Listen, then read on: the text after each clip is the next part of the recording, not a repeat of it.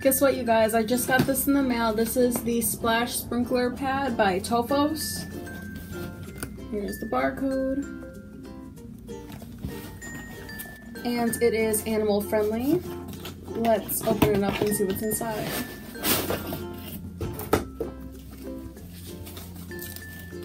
I like this bag for storage.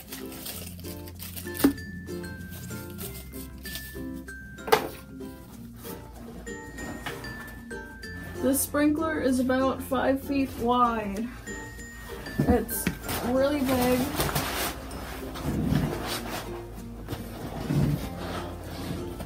Nice thick plastic.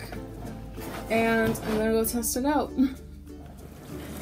Setup is really quick and easy. You just plug the hose in, turn it on, and the sprinkler starts.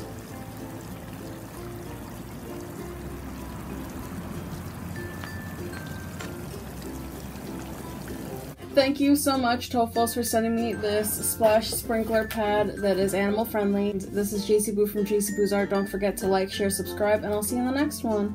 Bye, guys!